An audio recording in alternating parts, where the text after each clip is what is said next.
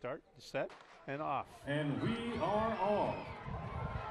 Number one Indonesia. And Matthew Boling in lane four, leading from start to finish. Matthew. And a battle for second and third. It looked like Hewitt finishes Let's third, and Lance Broom second. Let's see if Let's that's how it. officially comes down. Matthew Oh Boling, 9.98. Matthew Boling under 10 seconds in the boys' 100 meter dash. 9.98. Do I have my reading glasses on properly? Lance Broom second of Katy Seven Lakes. Nine, nine, 10